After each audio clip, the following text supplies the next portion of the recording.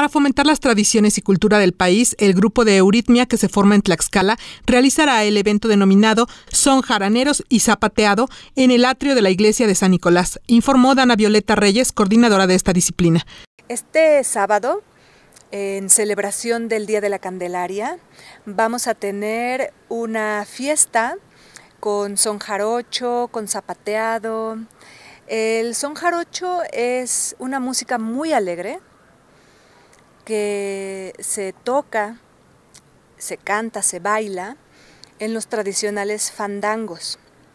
Eh, la tradición del fandango pues viene de obviamente del sotavento veracruzano y aunque aquí estamos en Tlaxcala pues hay, hay un gusto por esta música, por esta, esta cultura y pues vamos a hacer em, por el Día de la Candelaria un evento para toda la familia en el que va a haber música, va a haber tarima para quien quiera zapatear. Además de venta de la comida tradicional del Día de la Candelaria, como son los tamales, en el evento participarán los 17 maestros euritmistas que se forman en la entidad. Es una organización autónoma.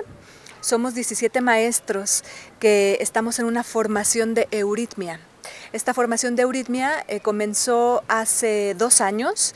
La sede es aquí en Tlaxcala con apoyo del DIF estatal, que en reciprocidad nos ha, nos ha brindado el espacio en el Salón de los Espejos. Y mi maestra, que es la maestra Brigitte Ley British ha, eh, ha colaborado con, con muchísima amabilidad da las clases a los niños de la casa hogar, las clases de sesiones de euritmia artística y pedagógica.